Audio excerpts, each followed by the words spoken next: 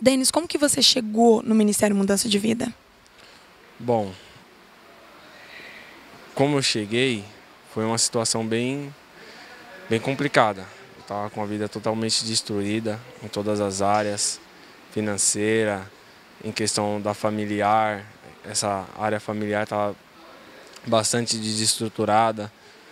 Uma, uma dificuldade total em todas as áreas. Cheguei aqui totalmente desacreditado, desequilibrado, em todas as áreas mesmo.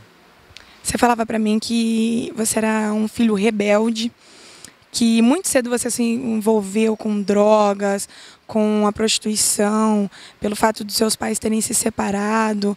Como que foi isso? É, foi isso mesmo. Meu pai, meus pais se separaram, eu era muito cedo. Eu tinha 12 anos quando eles se separaram.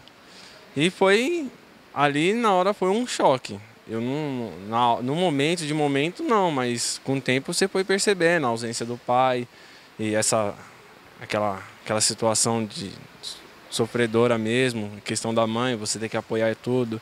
E foi muito difícil. Foi aí quando eu comecei a conhecer o mundo, me envolver com as coisas do mundo. Aí eu conheci as drogas, conheci a bebida. Aí eu conheci o que tem aí no mundo, eu conheci. Tudo isso por influência de amizade. É, cheguei a andar muito com, com amizades erradas, me, me envolvi muito com coisas erradas e foram coisas que, que, que destruíram a minha vida e fez com que eu chegasse aqui no Ministério Mudança de Vida totalmente destruído. E como que foi depois que você chegou ao Ministério de Mudança de Vida? Como que você chegou aqui, depois de ter vivido tudo isso? Então, eu cheguei aqui através de um convite do meu avô. Ele me convidou e eu aceitei vir por respeito. Eu admiro muito meu avô. Eu amo muito meu avô. Meu avô foi meu segundo pai. Então eu respeitei a decisão e decidi vir. E engraçado também que eu, por respeito, mas também para ele, digamos, não encher meu saco naquele momento que eu não queria saber de igreja, eu não queria, não queria isso para minha vida.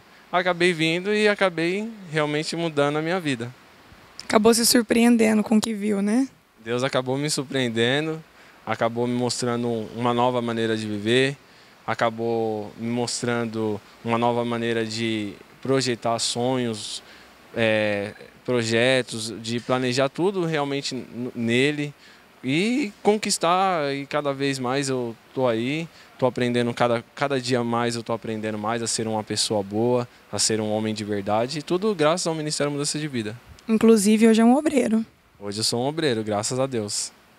E o que, que você diz para essas pessoas que têm assistido e às vezes passou pelo mesmo problema, pela mesma situação que você? Quantos jovens hoje não passam por, por situações assim? E o que, que você diria para essas pessoas, para esse jovem que hoje tem acompanhado o seu testemunho? É, é eu, eu passo um convite.